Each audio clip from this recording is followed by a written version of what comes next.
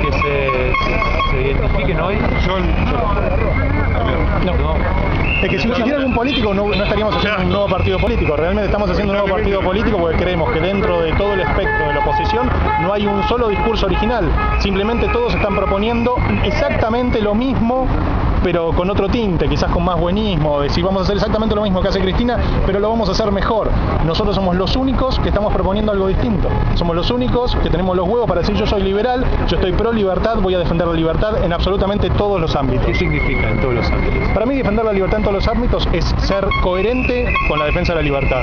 Vos tenés por un lado los conservadores que defienden la libertad económica, pero por el otro lado están en contra del matrimonio igualitario o están en contra de eh, la inmigración. Nosotros somos Consumo de drogas. o de experimentación de las drogas. Nosotros somos coherentes. Si sos libre, sos libre en todo.